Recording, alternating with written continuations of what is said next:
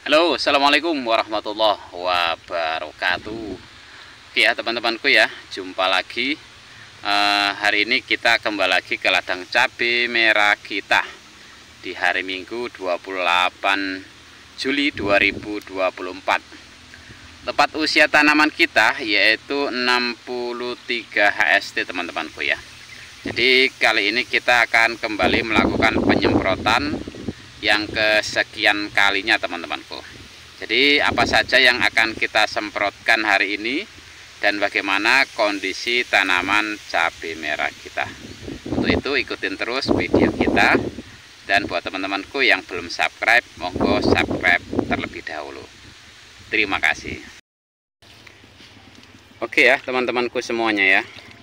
Uh, jadi update tanaman cabai merah kita usia 63 HST teman-temanku. Bisa dilihat buahnya seperti ini. Gandol-gandol sampai ke atas teman-temanku ya. Alhamdulillah. Uh, posisi di sini musimnya kemarau ya. Jadi hampir satu bulan eh, kira-kira uh, kira -kira 20-an hari ya uh, tidak kunjung turun hujan. Uh, namun Alhamdulillah ya untuk pengairan irigasi kita lancar makanya kita tetap lep tanah apa untuk jalur perawatan agar uh, panas tidak terlalu menguap teman-temanku ya. Jadi posisi hampir tiap hari panasnya pol teman-temanku Oke ya teman-temanku ya. Uh, mudah-mudahan ini sore mendung seperti ini mudah-mudahan turun hujan lah ya Allah amin. Nah, jadi kita lanjut ke pestisidanya teman-temanku.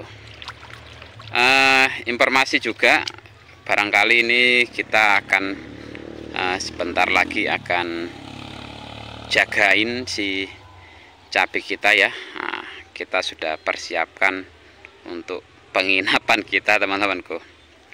Oke lanjut ke pestisida. Oke ya teman-temanku semuanya. Uh, ini dia yang kita semprotkan hari ini. Untuk yang pertamanya kita pakai insek insektisida uh, berbahan aktif lambda silahotrin ya. Dan diamektoxam merek dagang Indo Super ini untuk pengendalian ulat penggerek buah dan juga untuk kutu-kutuan uh, trip juga teman-temanku ya. Ini kita dosisnya cuma 0,2 mili. Jadi sekitar 4 ataupun 5 mili per 16 liter air. Tangki sprayer kita. Uh, kemudian kita pakai fungisida Ajoxa Plus nah, bahan aktif. Uh, chlorotalonil ya dan ajoxstrobin kita pakai 15 mili.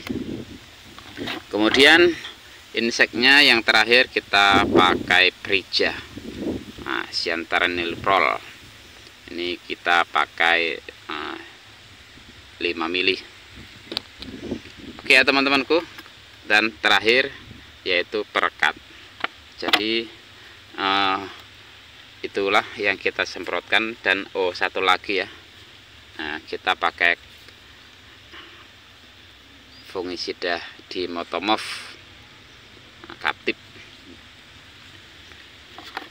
oke teman-temanku itulah yang kita semprotkan hari ini. Nah, terima kasih sudah mengikuti video kita. Mudah-mudahan bermanfaat. Sekali lagi terima kasih. Assalamualaikum warahmatullahi wabarakatuh